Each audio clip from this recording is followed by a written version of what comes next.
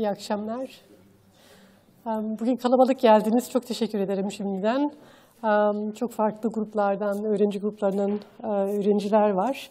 Bu akşam e, aslında benim e, uzun zamandır beklediğim bir akşamdı. İki edebiyatçı, edebiyatla uğraşan, benim gibi kitaplarla yatıp kalkan Meltem Gürle ve Meral Camcı'yı çağırdık ve ikisini bir araya getirmek aynı akşamda onlara hoş geldiniz demek beni çok çok mutlu ediyor. Önce Meltem Gürler'in konuşmasını dinleyeceğiz. Sunumunun um, başlığı Demokrasi ve Oluşum romanı. Meltem Gürler'i uh, tanıyanlar var tabii ki aranızda. Çünkü Meltem hocanız geçen semestrden beri burada ders veriyor. Literatur und Kulturwissenschaft dersini verdi ve şu anda karşılaştırmalı edebiyat dersini veriyor master öğrencilerine. Kendisi felsefe ve edebiyat eğitimi almıştır. İlgi alanları 19. yüzyıl Alman felsefesi, modernizm ve modernlik, roman teorisi, James Joyce ve Cumhuriyet sonrası Türk romanıdır. Boğaziçi Üniversitesi Yabancı Diller Yüksekokulu'nda öğretim üyesi olarak çalışmakta ve karşılaştırmalı edebiyat konusunda araştırmalarını sürdürmektedir ve bundan sonra burada da sürdürecektir. Oğuz Atay'ın e, Oğuz Atay üzerine yazdığı bir kitap var. İki kitabı var aslında. Oğuz Atay'ın Tutunamayanlar romanına konu olan Ölülerle Konuşmak geçen yıl yayınlandı. E, O incelemenin dışında ikinci bir kitabı var. O da diğeri e, gündelik hayat ve edebiyatla ilgili yazılardan oluşan Kırmızı Kazak. O da 2016 adlı bir deneme kitabı. Onun dışında Türk romanı ile ilgili çok sayıda makalesi vardır tabii ki. Meltem Gürle 2009 yılından beri Bir Gün gazetesindeki köşesinde edebiyat yazıları yazmaktadır. Evet, büyük bir ilgiyle bu akşamki sunumunu bekliyoruz Meltemciğim. Şunu vereyim sana.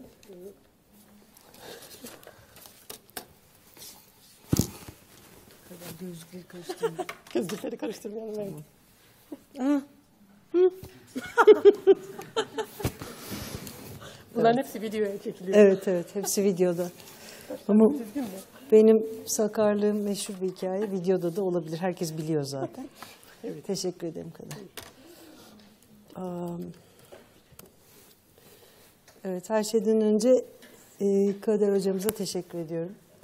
E, emeği geçen, bu seriyi hazırlamakta emeği geçen herkese, Rauf hocamıza da teşekkür ediyorum. E, hoş geldiniz. E, bu akşam ben e, demokrasi ve oluşum romanı hakkında konuşacağım. E, dersimi takip eden bazı öğrenciler için ufak tefek tekrarlar olabilir. Onlardan şimdilik e, özür diliyorum. E, özellikle e, 18. yüzyılda yazılan oluşum romanından başlayarak konuşmak e, durumundayız. Çünkü ilk örnekleri o zaman e, verilmiş. E, bugün e, hem bu romanlardan bahsedeceğiz hem de e, e, demokrasiyle oluşum romanının ilişkisinden bahsederken e, bu ilişkinin sanıldığından daha sorunlu olduğunu ve her zaman Avrupa'da tanımlandığı şekliyle ilerlemediğini Türk Edebiyatı'ndan örneklerle anlatmaya çalışacağız. Aslında demokrasi de bir anlatı olarak romanda e, antik çağa kadar izi sürülebilecek e, biçimler. Aydınlanmanın, aydınlanmanın diyalektiğinde e, Homer'in Odiseyini bir modern hikaye olarak okuyan ve Odysseus'u e, Burjuva öznenin prototipi olarak kabul eden Adorno bu konuda pek haksız sayılmaz. Hakikaten e, o serüveni e, bir roman olarak okumak mümkündür e, ve o, o karakteri m, bir roman karakteri derinliğinde e, okumak e, mümkündür. Ama bugünkü konuşmamızı makul bir sınır içinde yürütebilmek için daha geleneksel olan tanıma sadık kalacağız ve modern demokrasiyle, modernlikle birlikte ortaya çıkan bir edebi tür olarak kabul edilen romanın e, ilişkisine bakmayı tercih edeceğiz. Böyle bir yerden bakıldığı zaman modernlik 18. yüzyıl Avrupa'sında aydınlanma ve demokratik devrim sırasında gelişen ve günümüze kadar bir şekilde devam eden, eğer geç modernliği ve postmodernliği de bir parçası olarak görürsek, bunu bir yüzü olarak görürsek e, bu, bu dönemi anlatır. Modernliğin Avrupa'dan başlayıp dünyanın başka yerlerine yayıldığını iddia edenlerle dünyanın birçok yerinde aynı anda ama değişik biçimlerde ortaya çıktığı iddiasında olanlar arasındaki tartışmaları burada uzun uzun incelemek şansımız yok. Onun için şimdilik e, edebiyat tarihçisi ve kuramcısı Ian Watt'ın tarihsel bakış açısını benimseyerek romanın 18. yüzyılda Avrupa'daki toplumsal dönüşümün bir neticesi olarak ortaya çıktığı iddiasını temel alacağız. E, romanın Yükselişi adlı e, kitabında Ian Watt e, daha sonra tarihçiler ve edebiyat kuramcıları tarafından sıkça alıntılınacak e, bir iddiada bulunur. İngiltere'de üretilmiş önemli metinlere dayanarak, edebi metinlere dayanarak romanın doğuşunu o dönemde Avrupa'da gerçekleşen bir takım toplumsal, kültürel, felsefi, dini ve siyasi gelişmelere dayandırır. Ona göre e, René Descartes'in e, insanı düşünen bir varlık olarak tanımlayan felsefi görüşü ve bir siyasi varlık olarak bireyin önem kazanması edebiyattaki karşılıklarını bulmuş ve sıradan insanın psikolojik ve toplumsal varlığını uzun anlatılar şeklinde aktaran bu yeni edebiyat türünü doğurmuştur. Gündelik hayatın hikayesi edebiyatın malzemesi haline gelince var olan edebi formların bu malzemeyi anlatmaya yeterli olmadığı görülmüş ve roman bu yeni insanı anlatacak yeni bir edebi tür olarak e, ortaya çıkmıştır. Bunda etkili olan sadece felsefe değildir. Toplumsal, ekonomik ve siyasi gelişmelerin de romanın oluşmasında büyük payı vardır. E, bütün bu etkileri birbiriyle ilişkili bir şekilde algılamasına rağmen e, Ian Watt romanın ortaya çıkışını dört ayrı gelişmeyle beraber değerlendirir. Birincisi orta sınıfın ekonomik hayatın merkezine yerleşmesi ve aslında kendinden önce gelen sınıflardan iktidarı devralması ya da en azından bu iktidara talip olmasıdır. Siyasi olarak da yani hayatın merkezine e, yerleşmesidir. Okur yazarlığın artmasından bahseder Watt. Özellikle kadınların okuyucu haline gelmesinden, orta sınıf sayesinde, orta sınıfın ilerlemesi sayesinde kadınların daha e, iyi bir eğitim alması ve e, okur yazar hale hale gelmesinden bahseder. Dolayısıyla farklı bir okuyucu kitlesi vardır. Aslında farklı bir e, edebiyat talep eden, edebiyat türü talep eden bir okuyucu kitlesi vardır. Yazma eyleminin ve yazarlığın profesyonelleşmesinden bahseder ve demokratikleşmesinden bahseder. Bizi ilgilendiren bir taraf. Dolayısıyla bunun artık herkesin yapabileceği bir iş haline gelmesinden bahseder. Aynı eğitim e, koşullarının demokratikleşmesi sebebiyle. E, ve tabii e, sık sık alıntılanan, referans yapılan protestanlığın e, ve artık Avrupa'yı belirleyen sanayi kapitalizmin evliliğinden doğan bireycilik ve onun etrafında örülmüş toplumsallık anlayışının romanda kendine bir cevap bulmasından söz eder. Bu iki kavram yani e, bireycilik ve toplumsallık aslında modernliğin ilk anda e, paradoks gibi görünen, uzlaşmaz gibi görünen iki önemli e, temasıdır. E, bu ikisinin bir araya getirilmesinden de aslında yeni romanın yeni dinamikleri çıkar. Ee, yeni roman diyorum çünkü ondan önce de aslında roman türünün daha eski, daha e, basit demek istemiyorum ama farklı bir türü vardır. E, maceralardan geçen bir karakterin e, hikayesini anlatan pikaresk roman vardır. E, bu yeni roman türü diye bahsedeceğimiz roman yani 18. yüzyılda ortaya çıkan ve aslında 19. yüzyılın da büyük bir kısmını kaplayan roman türü ise bugün aslında sözünü etmek istediğimiz Bildungsroman ya da Türkçe'de genellikle e, karşılandığı şekliyle oluşum romanı. Aslında Meral'e sormak lazım. Doğru mu çeviriyorum onu da bilmiyorum ama e, genelde oluşum romanı deniyor. Onun için ben de oluşum romanı diyorum. Onun da alt türleri var biliyorsunuz. Eğitim romanı var. E, İngiltere'de daha çok yazılan gentleman novels denen e, bir e, bey olmayı, e, soylulaşmayı ya da toplumda kendine bir yer bulmayı anlatan İngiliz romanlarının sınıf sınıf hikayesini anlatan aslında sınıf atlamayı anlatan İngiliz romanları var. Charles Dickens'ın mesela Büyük Umutları gibi e, ve şimdi aklıma gelmeyen yüzlercesi gibi. E, Fransa'da e, ortaya çıkan hali hayal kırıklığı romanları diye anabileceğimiz Stendhal ve Balzac'ın kaleminden çıkan e, Yitik Umutlar gibi mesela ya da e, Kızıl ve Kara gibi e, başka bir ton alan e, biçimi var. Ama sonuçta e, Bildungsroman e, Avrupa'nın kültürel hayatını belirleyen bir e, edebi tür olarak e, 18. yüzyılın sonunda ve 19. yüzyılın başında e, ortaya çıkıyor. E, Ian Matt e, özel olarak Bildungsroman'dan bahsetmemekle beraber bu yeni roman e, türünün e, modern insanın dünyevileşmesiyle e, ilgili olduğunu da söyler. E, bu dünyevileşme hali bir taraftan dünyanın büyüsünü yitirmesiyle e, ve sekülerleşmesiyle ilgiliyken bir taraftan da e, ekonomik olarak e, başka bir dönüşümle ilgilidir. Homo economicus diye tabir edilen ekonomik insanın ortaya çıkması yani aslında yine e, burjuva sınıfının e, oluşması ve daha önce oluşmuştur ama e, siyasette ağırlık kazanmasıyla ilgilidir. Böylece e, bir yandan bireysel ve özel olana dair hikayeler anlatan roman aynı zamanda sokaktaki adamın yani toplumsal hayatı içinde var olan kişinin de hikayesini anlatır hale gelir. E, Bildungsromanın başlangıç noktası genelde e, Goethe'nin e, Wilhelm Meister'i olarak kabul edilir. E, bireylerin toplumsal kimlikleriyle var olabileceği bu gelişme, büyüme hikayesinin kamusal alanla ilişkisi ve dolayısıyla demokrasiyle ilişkisi de e, bu romanla beraber, bu romanla ilişkilendirilerek e, kurulur. E, bu dönüşümün, gündelik hayattaki dönüşümün e, edebiyattaki ifadesi olarak e, genelde bu romana referans yapılır. E, değişik okumalar var Bildungsroman'ın aslında nasıl bir şey olduğuna dair. Birazcık onlardan bahsedelim sizi sıkmadan inşallah. Rus düşünür ve kuramcı Mikhail Bakhtin önemli bir özelliğinin üzerinde durar, durur Bildungsroman'ın. Ben de bu özelliğini aslında biraz altını çizerek e, okumak istiyorum. Benim için bu, bugün konuşacağımız konu içinde önemli olan tarafı bu.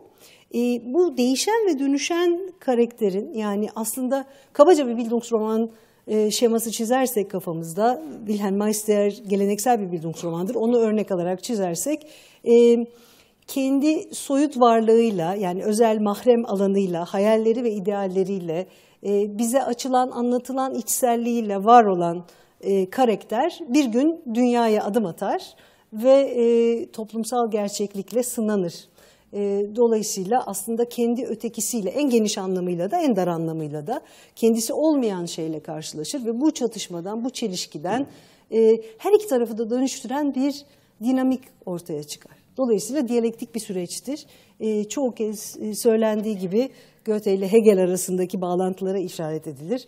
E, bu diyalektik sürecin sonucu da e, her iki tarafın da değişeceği, dönüşeceği bir sistem olur. Bakhtin özellikle bunun altını e, çizer.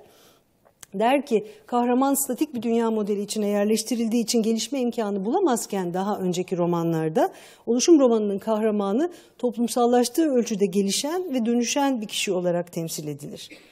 Dönüştüğü ölçüde de toplumu dönüştüren, yani aslında tarih yazan bir karakter olarak e, karşımıza çıkar. Bu özelliği bizim için önemlidir. Tarihi, toplumu dönüştürecek bir karakter olması önemlidir. E, Lukács ise e, oluşum romanının en önemli özelliğin anlatının merkezinde duran ana karakterin genç yaşından itibaren değişik tecrübelerden geçerek bir öğrenme sürecine tabi olmasını ve bir takım yanılgılardan sonra toplumsallaşarak bir yetişkin haline gelmesi hikayesine bakarken e, soyut ideallerin e, toplumsal gerçeklikle karşılaştığında yarattığı e, çatışmayla ilgilenir. Ve e, bunun neticesinde bir uzlaşmanın olasılığından bahseder bize. E, sözünü vermez, uzlaşma kesinlikle gerçekleşecektir demez. Ama onun için bu olasılık bile çok önemli bir şeydir, çok önemli bir kazanımdır. E, sorumlu birey der bu hayallerinin peşinde koşan ve e, ideallerinin neticesinde e, davranan bireye. Sorumludur çünkü soyuttur. Sorunludur çünkü dünyayla test edilmemiştir henüz. Bu sorununun e, dünyayla test edilmesi neticesinde e, dünyayı da e, kendini de değiştirecek olan şey e, bireyin ta kendisidir. E, yani Lukács'ın deyimiyle sorumlu bireyin içselliğiyle dışarıdaki toplumsal gerçeklik arasındaki uzlaşma, altını çizerek söyler, zor da olsa sağlanabilir.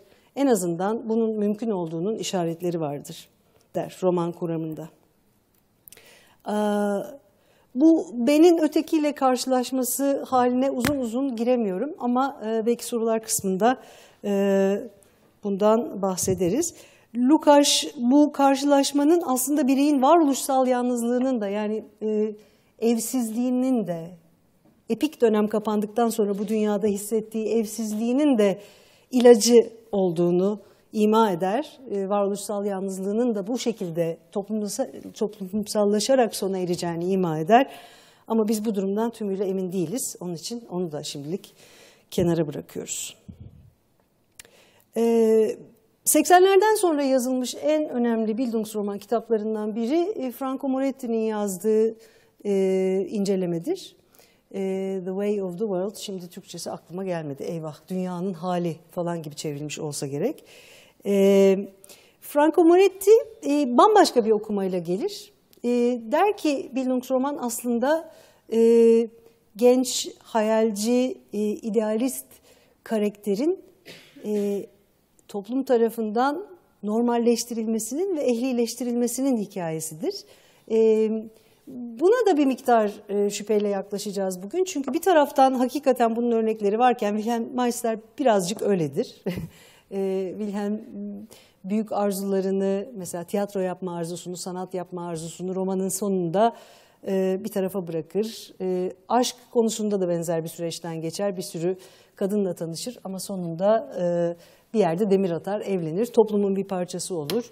E, kule topluluğuna katılır.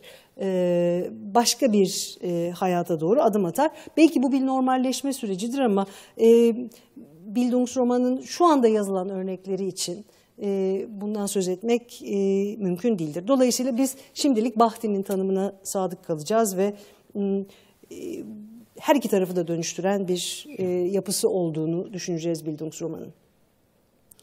Bildungsroman'ın sözünü ettiği bu değişim yani bireyin toplumun oluşumuna aktif bir şekilde katılmasıyla gerçekleşen dönüşüm aynı zamanda idealize edilmiş bir demokrasinin resmidir. Modern insan kendi sınırlı özel alanının dışına çıkacak ve kamusal alanda boy göstererek kendisiyle eşit haklara sahip olan ama kendisine benzemeyen bireylerle karşılaşacaktır. Oluşum romanının algısına göre toplumun bekası bu karşılaşmanın sürekliliğine bağlıdır. Çünkü bunun sonunda gelişecek olan vatandaşlık hali demokrasinin yegane e, garantisidir. Burada kamusal alandan anlaşılan e, Alman sosyolog ve düşünür Habermas'ın tarif ettiği şekliyle tüm vatandaşlara açık olan ve bireylerin bir araya gelerek, özel bireylerin yani kendi özel alanlarına sahip olan bireylerin bir araya gelerek toplumsal bir uzlaşmaya varabildikleri, en azından Lukács'ın dediği gibi bu varma olasılığını taşıdıkları e, yerdir. Vatandaş olarak tanımladığımız bireyler toplumsal çevrelerinde herhangi bir sınırlama olmaksızın diğer bir deyişle kendi düşüncelerini özgürce açıklayıp yayınlama hakkı ve özel grup örgütlenmeleri kurma hakkının garantisi altında hemen herkesi ilgilendiren sorunlar hakkında birbirleriyle iletişimde bulunabildiklerinde, etkileşimde bulunabildiklerinde bir kamusal alandan söz edebilir oluruz. Bireyin toplumla ve onun aracı olan devletle ilişkisini idealize eden bu kavram oluşum romanının temeli sayılır. Çünkü daha önce de söylediğimiz gibi Bildungsromanı oluşturan dinamikler kahramanın özel bir birey olarak kamusal alana adım atmasıyla yani dünyaya çıkmasıyla e, ve en nihayetinde bir vatandaş haline gelip dönüştürücü toplumsal rolünü kabul etmesiyle ortaya çıkar. Kısacası e, meşru bir kamusal alan tanımlanmadan e, ve demokratik bir yapı öngörülmeden klasik anlamda oluşum romanından söz etmek mümkün değildir. Türkiye'ye geldiğimiz zaman e, Türkiye'de yazılan oluşum romanlarını hatta oluşum romanına gelmeden önce kamusal alana geldiğimiz zaman Türkiye'de e, demokrasinin de onun dayandığı kamusal alanın da e, sorunlu meseleler olduğunu kabul etmek zorunda kalıyoruz. Türkiye'de modernleşme projesi her ne kadar halk tarafından kabul edilmiş ve benimsenmiş olsa da en azından sürecin başında böyle olsa da siyasi elitlerin tepeden aşağıya doğru işlettikleri bir süreç olarak şekillendiği için kamusal alan hiçbir zaman toplumsal bir uzlaşmanın gerçekleştiği bir yer olarak karşımıza çıkmamıştır. Birçok siyaset tarihçisine göre Türkiye'de modernleşme sürecini hayata geçiren elitler iktidarın otoriter geleneğini Osmanlı'dan devralmışlar ve onu olduğu gibi yeni cumhuriyet modeline uyarlamışlardır. Osmanlı'yı bir arada tutan karma karışık yapının yerini seküler bir ulus devlet modeli almış olsa da devletin otoriter ve tepeden inmeci yapısı bu süreçte pek az değişmiştir. Osmanlı kimliğinin çok önemli bir parçası olan ve bütün kültürel referanslarının merkezinde duran İslam, Cumhuriyet'le birlikte ulusal kimlikle yer değiştirmiş. Ve Zerrin Kurtoğlu'nun söylediği gibi bu yer değiştirmenin sonucunda gündelik hayat dünyevileştiği gibi e, devlet de kutsallaşmıştır. Devletin kutsallaşması hali bu otoriter yapının devam etmesine neden olmuş. Osmanlı'dan bu yana süregelen modernleşme çabaları bir vatandaşlık kültürü yerleştirmek yerine hep güçlü bir devlet yaratmak amacını gütmüştür. Cumhuriyet tarihi içinde de birbirinden çok farklı siyasi düşünceler tarafından belirlenen hükümetler gelip geçse de Türkiye'nin pozisyonu demokrasiyi güçlendirmek yerine hep devletin kamusal alandaki hakimiyetini artırmaktan yana olmuştur. Onun için belki şöyle de denebilir. Modern Türk vatandaşı iradesini temsil eden bir devlete sahip olmak yerine kendisine tahakküm eden bir devletle e, baş başa kalmıştır. Hatta Türkiye'de kamu sözcüğü vatandaşların birbiriyle ilişki kurarak bir toplumsal uzlaşmayı gerçekleştireceği ya da devleti denetleyeceği bir alana işaret etmekten ziyade devleti ya da devlet kurumlarını anlatan bir ifade e, haline gelmiştir. Halbuki devlet her ne kadar otoritesini siyasal kamu alanında icra etmekten sorumlu olsa da bu alanın bir parçası değildir. Ee, dolayısıyla o alanın dışında durması beklenir. Bütün bunların edebiyata nasıl yansıdığına gelince biraz önce özetlediğimiz bu otoriter devlet yapısının romana nasıl aktarıldığını en iyi anlatanlardan biri olan Jale Parla'yı anmamız gerekiyor. Jale Parla'ya göre erken dönem Türk romanına hakim olan alegori, babasız bir çocuğun yani bir yetimin hikayesidir. Babalar ve oğullarda Parla Türk romanının babasız bir eve doğmuş bir oğlan çocuğuna benzediğini söyler. E, zamandan önce büyümek ve babanın sorumluluğunu almak zorunda kalan bir çocuktur bu. Buna kalsa iyidir, e, buna kalmaz. Baba-oğul ilişkisi Tanzimat döneminde bir çatışma değil, bir devamlık ilişkisi içerir. Ve bu muhafazakar ilişkinin oğulları e, bizim ilk romancılarımızdır der Parla. Hepsi de kaybedilmiş bir baba arayışı içinde kendileri vesayet üstlenmek zorunda kalmış otoriter çocuklardır der. Burada otoriterin altını çizerek e, Parla'nın yaptığı vurguyu hatırlatalım. Dolayısıyla hem romancının karakteriyle ilişkisi hem de karakterin toplumsal gelişimi bu otoriterlik tarafından belirlenir. Demokratik bir ilişki e, olamaz bir türlü. Romancının karakteriyle ilişkisi nasıl demokratik bir ilişki olabilir sorusunu da sorular kısmına bırakalım. Ondan da sonra bahsedelim. Ona da çok zamanımız yok. E, ama e, Tanzimat döneminde ve Cumhuriyet'in ilk döneminde e, gerçekten bu ilişkiyi içeren yani otoriter bir yazarın elinde sıkışmış karakterlerin dışında ilişkiler e, sunan e, romanlara nadiren rastlarız bunu söyleyelim. Cumhuriyet dönemi anlatılarından e, bütün tarihinden çok uzun uzun söz edemeyeceğim. O kadar zamanım yok diye düşünüyorum. Var mı? Var. Biraz daha zamanım var. Var mı? Yok. Yok. Birden fark ettim ki yok. Tamam o zaman oraları geçiyoruz. Um, hepsini geçtik. Ee, aslında çok uzun bir süreç var. Hepsine bahsedemeyeceğiz. Çünkü asıl söylemek istediğim şeyi yoksa söyleyemeyeceğiz. Um, çok kısacık e, Bülent Somay'ın bir makalesinden bahsetmek istiyorum. Muhtemelen Parla'ya referansla ve her zamanki müzipliğiyle Bülent Somay Hamlet Kuşağı diye bir e, makale yazar. O makalede der ki en iyi baba ölü babadır. E, ve e, 70'lerden bahseder. E, 70'lerdeki hikayenin e, Türkiye'nin aslında devletle çatışma noktasına geldiği, çatışma derken e, Bildungsroman'ın anladığı anlamda bir verimli bir çatışmayı kastediyoruz. Buna geldiği noktada e, gerçekten bir çatışma yaşamadığını söyler. Çünkü Hamlet gibi e, ortalıkta iki baba vardır. Bir tanesi ölmüş ve vesayet bırakmış Kral Hamlet yani e, Mustafa Kemal'in vesayeti vardır ortalıkta. Dokunulmayan ve kutsallaştırılan baba. Öteki de devletin e, sorumluluğunu üstlenmiş sahte baba, devlete ihanet eden var olan hükümetler, o zamanın e, muktediri olan hükümetler vardır. Dolayısıyla e, ana vatanı korumak için e, Hamlet karakterler, e, 1970'lerin solcuları yanlış bir ikiliğin içinde kalırlar e, Bülent Soma'ya göre. Bunun edebiyata yansımaları da e, 12 Mart ve 12 Eylül sonrası yazılan e, romanlarda görülür. Genellikle sıkıntı şöyle bir şeydir e, bu dönemde yazılan romanlarda.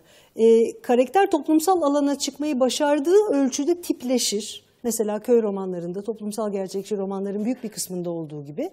Ya da e, içine döner ve topluma toplumsallık tarafını güdük bırakır ve tamamen karakterin içselliğiyle ve onun e, kendine dönük hikayesiyle uğraşırız.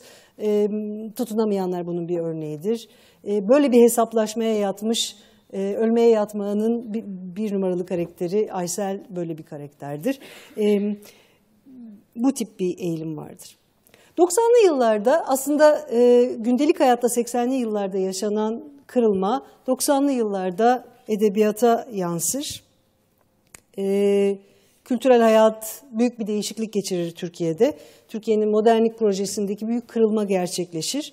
Ee, o zamana kadar ulusal projeyi benimsemeye yatkın olan halk 80'li yıllara geldiğinde birkaç darbe geçirmiş, bir türlü gelmek bilmeyen aydınlık ve müreffeh yarınlara dair söylemden yorulmuş ve e, yeni yönlere, yeni kimlik arayışlarına doğru ilerlemeye geçmiştir. Burada artık e, biraz önce bahsettiğimiz romanların e, hayal kırıklığına uğramış aydınların hikayelerinin ya da e, toplumsal gerçekçi romanların yazılması mümkün değildir. E, farklı romanlar yazılmaya başlanır. Daha sert, daha e, zor bir hayatı anlatan romanlar yazılmaya başlanır. Ama biz 2000'lerle ilgileniyoruz. Aslında bu konuşmanın e, odağı birazcık da bu. 2000'li yıllara gelindiğinde e, Türkiye'de çok ilginç bir gelişme oldu. Edebiyat açısından bence ilginç bir gelişme oldu. Çünkü e, Bildungsroman temalarına uzun süredir terk edilmiş e, ve postmodern e, metinlere bırakılmış edebiyat alanı e, uzun süre terk edilmiş bir temaya, Bildungsroman temasına geri döndü. E, fakat geleneksel Bildungsroman'da olduğu gibi karakterlerin çocukluktan yetişkinliğe geçişlerinin hikaye edildiği anlatıların yerine çocukların ya da yetişkin olmayı başaramayan orta yaşlı erkeklerin hikayeleri e, ortalığı doldurdu. E, bu yeni metinlerde roman karakterleri e, hemen her seferinde, her anlatıda kendilerini ruhunu kaybetmiş, büyüsünü kaybetmiş bir dünyanın karşısında bulurlar ve mesele bu duruma nasıl karşılık verecekleridir. E, kimileri e, daha sert bir dille karşılık verirken 2000'de yazılan romanlarda özellikle e, dünya ne kadar kokuşmuşsa karakterlerde bir, bir o kadar azizleşmiş ve çocuklaşmıştır. E, yetişkinlik ve çocukluk arasında bir yerde yaşayan karakterleriyle mesela Barış Bıçakçı bu grubun e, önemli yazarlarından biridir. E, bütün romanları burada anma şansımız yok ama e, bizim büyük çaresizliğimiz e, bu romanlardan biridir. E, genç bir kızın çocuksu dişiliğine vurulan iki arkadaşın hikayesinin anlatıldığı, bir tanesinin merkezde olduğu ve onun e, kendi çocukluğunun e, tanıdık sıcaklığı içinde kalmayı tercih ettiği bir türlü yetişkin bir erkek haline gelememesinin anlatıldığı bir hikayedir bu. E, Alper Canıgüz ve Emrah Serbest romanları da aynı şekilde düşünülebilir ve değerlendirilebilir. E, çocuk ve ergen karakterler bu iki yazarla beraber Türk Edebiyatı'nda yeniden sahne alırlar. E, ve daha önceki çocuk ve ergen karakterlere benzemeyen bir şekilde var olurlar Türk Edebiyatı'nda. E, mesela e, Kemalettin Tuğcu'nun karakterlerine benzemezler. 1950'lerde yazılan e, Orhan Kemal romanlarının e, sınıf mücadelesi içinde uğraşan çocuk karakterlerine benzemezler. Daha başka bir yerden konuşurlar bizimle. E, bu yeni edebiyatın zamanından önce büyümüş çocukları e, hayatın hoyratlığını derin bir hüzünle ve alayla karşılarlar. E, a, Alper Canıgüz'ün romanlarını ne kadar tanıyorsunuz bilmiyorum. E, meşhur bir karakteri var Alper Kamu diye. 5 e, yaşında ama sadece 5 yaşında olmasına rağmen dünya klasiklerini çoktan hatmetmiş. Nietzsche, Dostoyevski, Oğuz Atay'dan alıntılar yapan, e, babasının bulmaca çözmesine yardım eden ve boş zamanlarında hayatın anlamsızlığına kafa yoran bir karakter mesela bu. Hiç büyümeyen, hep aynı yaşta kalan ama bir orta yaşlı bir erkeğin varoluşsal sıkıntılarını taşıyan e, bir karakter. E, bütün karaktere hakim olan e, aslında Cehennem Çiçeği'nde ikinci kitapta e, Alper Canıgüz'ün karakterine söylettiği şu laf artık mutlu hikayeler anlatmanın zamanı geçti ve e, dışarısı tehlikeli bir yer. Bu e, temayı Emrah Serbest'in romanlarında da e, görürüz sık sık. Çocuk ve ergen kahramanlar acımasız bir dünyanın içine doğmuşlar ve daha palazlanamadan duygusal olarak büyümek zorunda kalmışlardır. E, dolayısıyla e, her zaman e, o yetişkinliğin sınırında durur ve oradan konuşurlar. Ve e, aslında hikayenin idealler ve hayallerle ilgili kısmı da hiçbir zaman toplumsal gerçekliğe e, dönüşmeden e, bir nüve halinde o çocuksu karakterde barındırılır. E, öykülerinden birinde Emrah Serbest e, genç anlatıcıya şöyle dedirtir. Büyümenin pek de matah bir şey olmadığını söyletir. Çünkü büyüdükçe arzularım küçüldü, şaşkınlıklarım küçüldü, beklentilerim küçüldü. Büyüdükçe öyle küçüldüm ki içimde taşıyacak bir şey kalmadı. Büyümenin bir bedeli varsa işte bu. Yarım metre uzadım, 20 kilo aldım ve dünyadan vazgeçtim dedirtir. Ee, dünyadan vazgeçmek üzerine birazcık konuşmak istiyorum. Çok az zamanım var. Hiç yok. İki dakikam var. Peki o zaman e, dünyadan vazgeçmek Başında anlattığımız temaya geri dönelim. Dünyadan vazgeçmek nedir? Dünyadan vazgeçmek aslında Bildungsroman'ın başladığı yerde daha Bildungsroman'ı bitirmek demektir. Çünkü Bildungsroman zaten dünyaya çıkmakla başlar. Dünyaya çıkamayan, dünyadan vazgeçen bu e, kendi içine dönmüş erkek karakterler e, benim şu ara uğraştığım mesele. Kadın karakterleri başka bir tarafa bırakıyorum. Onların hikayesi çok daha karmaşık. Ee, evden çıkamayan karakter ne yapar? Ve hala evden çıkmak isteyen ve dünyayı değiştirmek isteyen çocuk karakterler var mıdır? Evet vardır. Her ikisinden de e, sorular kısmında bahsedelim ama bitirirken e, dünyayı kurtarmak üzerine e, ve bu ebedi çocukluk üzerine e, son bir şey söylemek istiyorum. E, bu konuşmayı da e, aslında yakın zamanlarda kaybettiğimiz bir öğrencimizi anarak bitirmek istiyorum. Ee, Kobane'de hayatını kaybeden Boğaziçi Üniversitesi yüksek lisans öğrencisi Supi Necat Ağırnaslı e, dünyayı değiştirmek isteyenlerden biriydi. E, geride e, bir not bıraktı. E, onun ailesine ve arkadaşlarına bıraktığı mektuptan e, bir bölümü okuyarak e, konuşmayı bitireyim ve e, sonsuz çocukluk üzerine daha sonra soru cevap kısmında konuşalım. O mektupta şöyle diyordu e, Arnaslı. Sıradan bir genç olarak sıradan çelişkilerden dolayı sadece bir tercihte bulundum. Her şeyden önce bu tercihi kendim için yaptım. Ulvi bir inanç için yola çıkmadım. Ulvi olmayan insanlarla hayatı, büyüsüz bir dünyayı, şeyleşmiş bir dünyayı büyülemek istedim o kadar. Tek derdim asla büyümemek, büyüklerin dünyasının bir parçası olmamak, hep çocuk kalmaktı.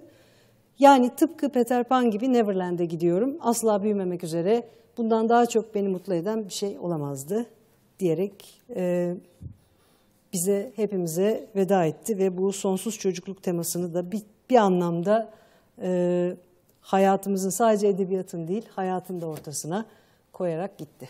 Çok teşekkür ederim. Çok uzattım. Çok özür diliyorum. Tamam. Sağ olun.